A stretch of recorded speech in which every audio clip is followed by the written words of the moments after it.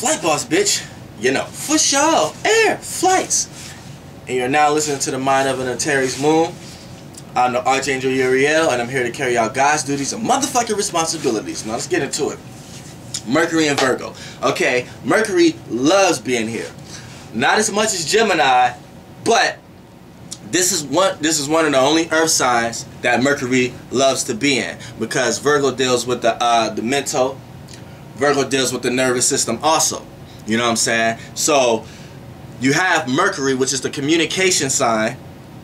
It loves to be in air but it's it's, it's a fast moving so it's mobile it's mutable.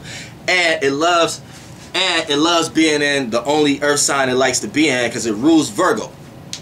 So with Virgo here, it, it, it slows it down, but it slows Mercury down in a way that Mercury likes. Like, see, when Mercury is in Taurus, it's like it has to slow down, and it really necessarily doesn't want to because it feels like it's moving too slow.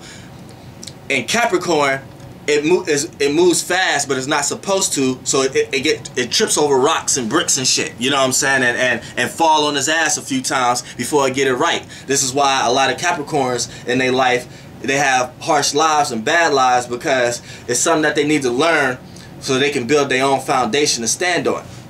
Or they're gonna keep falling until they learn. Now when it comes into Virgo, see the mutability in Virgo helps it a lot because it's able to move. It's not stuck in the rut like in Taurus, or it's not tripping over bricks and shit like that like in Capricorn. It's able to be in a boat or something or some physical earth thing that can move, that can move along. So it's, it's so it's, it's moving at a rapid pace, and when it's in Virgo, it's able to it's, it's able to look at the details and and what does what does Mercury like to do? Communicate. So it communicates the details. But this is why a Mercury and Virgo person can come across uh, like criticizing or come across as dictating someone else's moves because Virgo is deals with the nerves also Mercury and it deals with communication so these people can't help but to express that. They have to speak that. Because if they don't they're going to feel like they're doing themselves a disjustice because it may not be done right. And Virgos like things to be done right. If it's not being done right, that's a scary situation. So for a Virgo, a Virgo uh, Mercury person communicates these things. And these people can talk themselves into wonderful situations, especially dealing with like jobs, interviews, anything like that.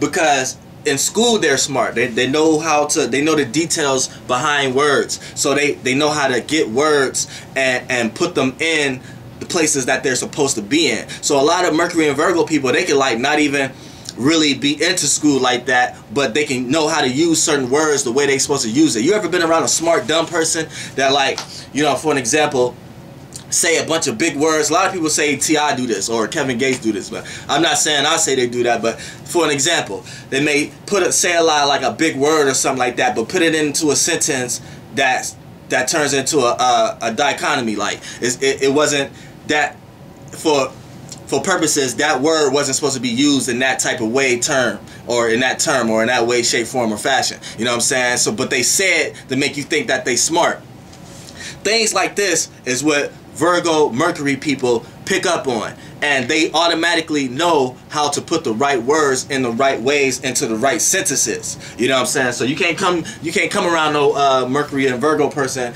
uh, being a smart dumb nigga. Can't do that. You know what I'm saying? Because before y'all even get to the point of your conversation, y'all gonna be talking about every piece of the conversation before y'all get to the point y'all even talking to. Like talking about, like for an example, say y'all y'all talking about uh, the new Jays or something like that, right? And you talking to a, a Mercury and Virgo uh, person. So you tell them you like a smart dumb nigga. You tell them that uh, you say some shit like, well,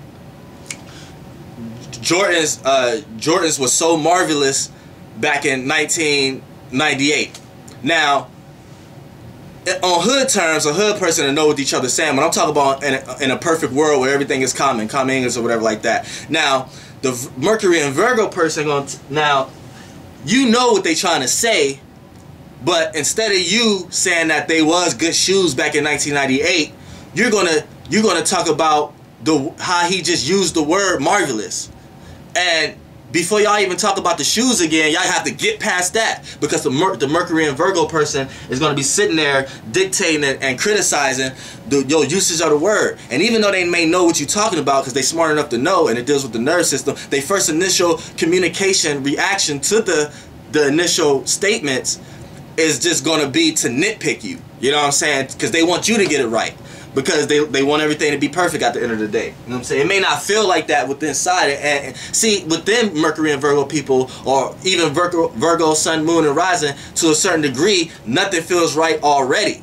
You know what I'm saying? Nothing, not everything feel like it's not perfect. So this what makes them want to be perfect at what they do because they already see everything is not being perfect. And it's a lack of Venus here, so it's a lack of love here. You know what I'm saying? So dealing with the communication, which is Mercury and Virgo, uh, these people they they communicate and express flaws. You know what I'm saying? But in a very articulate way. You know what I'm saying? So if, if this person got like a uh, went to college and, and got PhDs or whatever whatever kind of shit y'all get in college for graduating that shit. Y'all, uh, these people can very talk themselves into any situation. You know what I'm saying? Know how to analyze every situation. Only thing they just have to worry about is uh, to stop being so critical because others may lack information or others may lack communication skills but so they may come across like they don't know what they're talking about. But as the mercury and virgo you should understand and you already know you know if you a mercury and virgo you motherfuckers know.